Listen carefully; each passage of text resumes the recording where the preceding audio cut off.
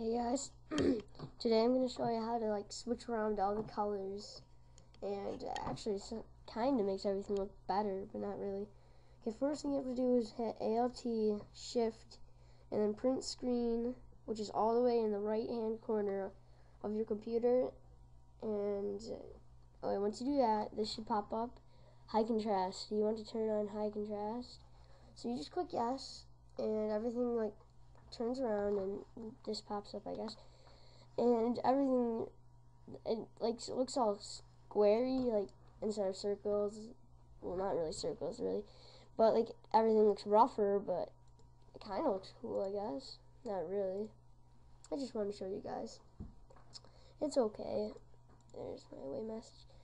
So, yeah, if you like this video and you like my other videos, please subscribe.